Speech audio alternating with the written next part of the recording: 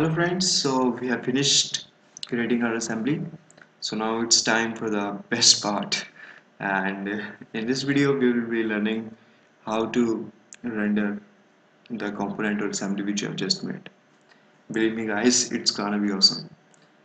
And what actually rendering is, is that uh, through rendering you can convert your 3D component or the 3D assembly which you have just created into a 2D image so so that you will be able to see what your image would look like in, in the real life.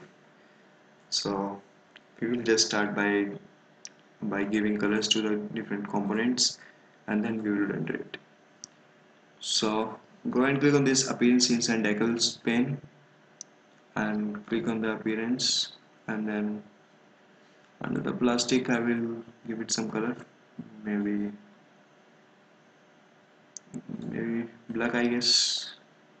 I will drag the black color and drop it here and click here. And now for these components I will, I will give it uh, something like maybe yellow. Uh, yeah yellow should work. And now we have give it some, we I just given it colors so now we are ready to render it. So click on the view setting button here and click on the perspective.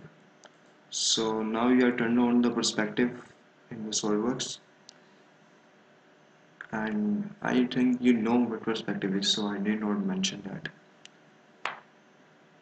So let's just begin so now let's just render our, render this component. Under the office products tab click on the PhotoView 360 and then you will see PhotoView 360 menu here and click on options. So now here are different options which you which you can change. Uh, these are actually options for the final image which will be created. So I will leave them as they are by default and I will click on final render. Sometimes it, it takes very long to complete a render so maybe a big part could take hours also. I remember once I created an assembly which took around 3 to 4 hours to just render on. So it is as it is a small component so it is running very quick. It's done. So now you can see that it's pretty, it's look, looking pretty cool now yeah. So so similarly you can set different views and you can have rendered image of your component in different views. So I I hope you like it.